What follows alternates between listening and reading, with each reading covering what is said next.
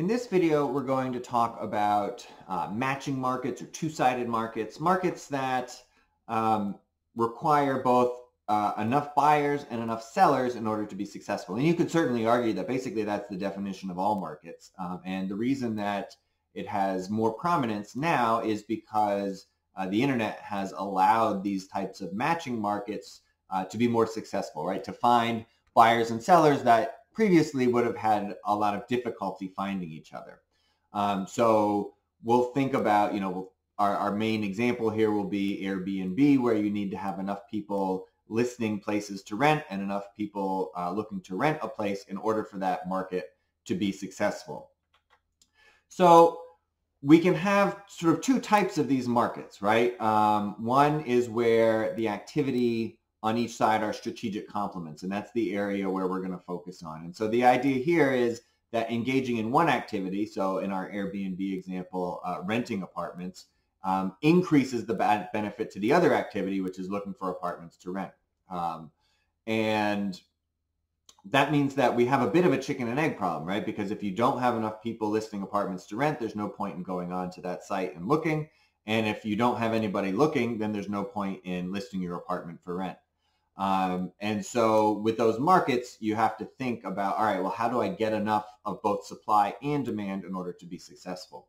Strategic substitutes would be the opposite, right? Where engaging in one activity decreases the benefit of the other activity.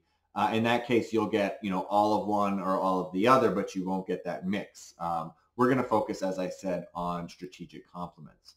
So the way we're going to model this is with a posters curve and a seekers curve, right? So here's our, our Airbnb example. So we have a number of apartment seekers on uh, the horizontal axis and the number of, of, apartments posted on the vertical axis. And we have an apartment seekers curve where that is increasing with the number of um, uh, apartments posted.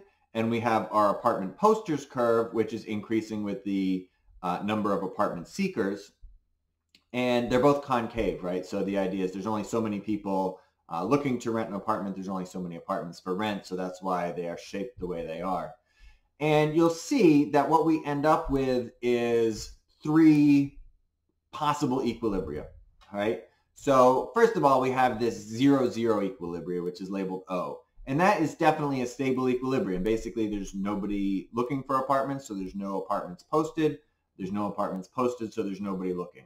Um, and there's nothing necessarily to push us out of that equilibrium. And so if you're starting up the next Airbnb, you have to think about, all right, well, how do I get enough, uh, both, you know, people looking to buy and people looking to sell in order to get the, the market moving.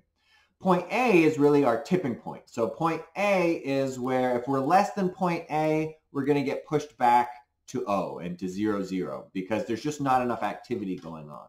But if we can get above point A, then an increased number of apartment seekers will mean we get more apartments posted, and we'll keep going until we get to Z. And Z is our stable, high uh, supply, high demand equilibrium. Um, and so if we're a little bit below Z, we'll get pushed back to Z. If we're a little bit above Z, we'll again get pushed back to Z because of the concavity of both the curves.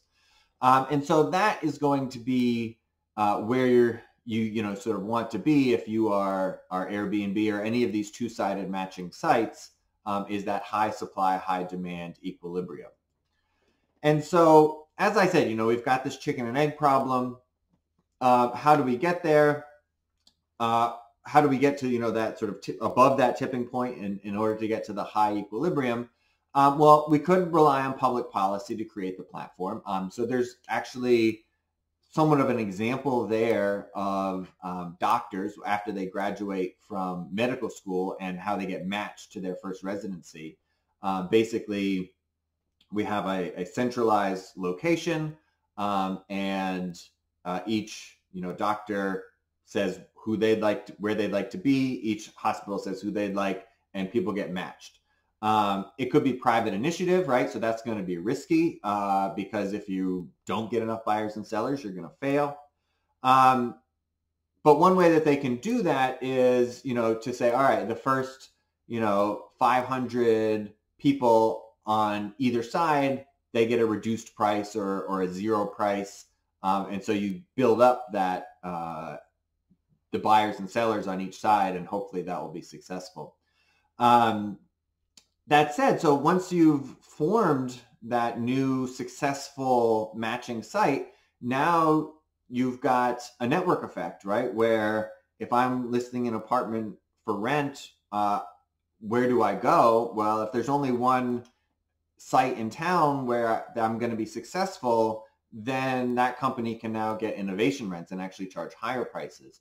And so again, we have a public policy issue because we have a network effect where it makes sense for all of us to be on that one site um, so that we have lots of buyers and lots of sellers on each side, but we want to make sure that they aren't charging monopoly prices um, and, and that can be a problem. And so this is, I think, I think this is the main challenge of, you know, the, the digital age is we have these, you know, really low marginal costs. We have these network effects. How do we regulate these sites in order to make sure that uh, the benefits are as widely enjoyed as possible while prices are not too high?